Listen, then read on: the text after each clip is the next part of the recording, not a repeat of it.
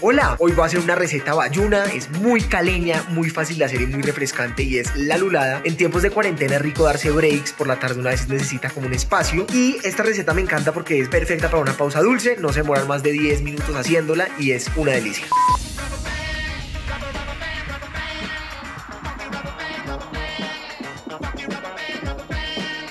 arreglar los lulos, que es la parte más importante de la lulada. Básicamente los vamos a cortar por la mitad y sacarles la punta. Arrancamos con nuestros lulos. Estos están perfectos, no están ni muy maduros ni muy verdes. Toca sacarles el lulo. Nos vamos a ayudar con una cuchara, ir sacando y vamos descartando las cáscaras. Huele a lulo.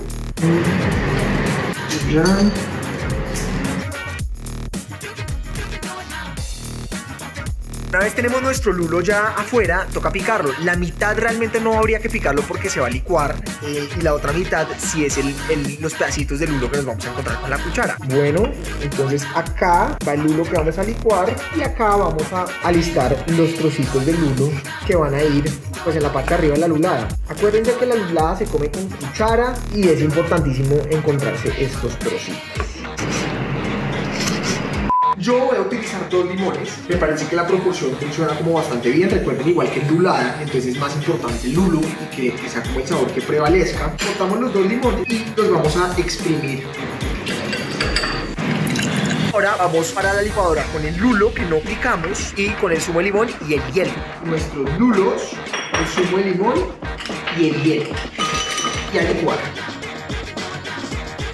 y estamos listos para servir, así de fácil, es una cosa que se hace en 10 minutos y el éxito de la lulada, si me preguntan a mí que no soy caleño, pero que me encanta, es la mezcla de sabores y texturas, el ácido del lulo, el cítrico del limón, eh, el toquecito dulce, que en este caso vamos a usar la lechera, la crema de leche es muy tradicional para la lulada y me encanta porque también le da como un toquecito cremoso. Y los lulos que reservamos para son los que nos vamos a, a cucharear. Entonces vamos a arrancar con la crema de leche, tres cucharadas para cada uno de los vasos, acá yo lo tengo medido, una para cada vamos a desperdiciar, ahí sí no vale la pena, pero en esta producción se usa hasta la última gota de la lechera.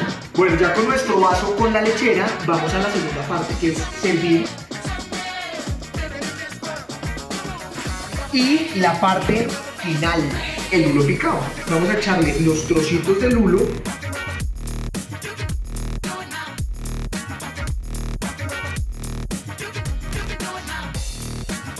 productazo esta lulada. Los invito a hacer pausas dulces con la lechera. Están en cuarentena, pero traten de meterle un poquito de sabor y de perrenque a las tardes. No se demoran más de 10 o 15 minutos y sí, les cambia totalmente el panorama. Yo con esta lulada fui feliz, me transporté a Cali. Yo además soy muy rolo, pero bailo salsa bien. Ahí les dejo ese, ese dato. Y bueno, a seguir cocinando y parchando en la cuarentena.